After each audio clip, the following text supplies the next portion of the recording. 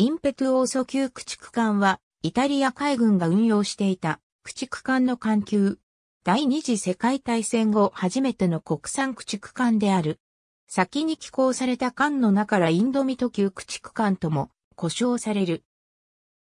本級はイタリア共和国憲法体制下のイタリア海軍として初めての国産駆逐艦であり、第一次号可燃計画中の1950から51年計画によって建造された。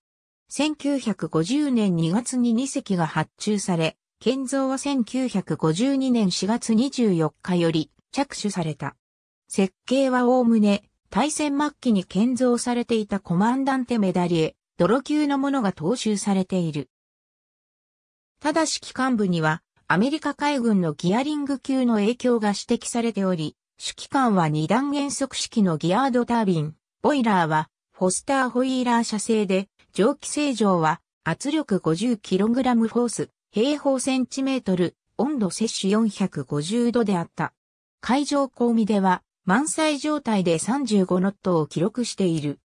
戦車及び兵装は同時期のアメリカ海軍の対戦駆逐艦に準じているが、対戦兵器のみ、国産のメノン対戦迫撃砲が採用されており、環境構造物直前の01甲板レベルに搭載した。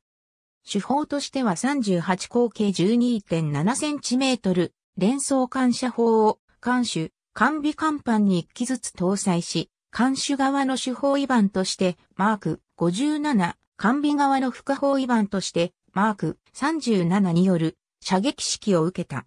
また、広角機銃としては56口径 40mm 機銃を4連装砲が2機及び連装砲が2機として各所に搭載している。続く第2次号可燃計画で建造する駆逐艦は本級を元に拡大させてターターシステムを搭載するなどした発展型であるインパビド級とされた。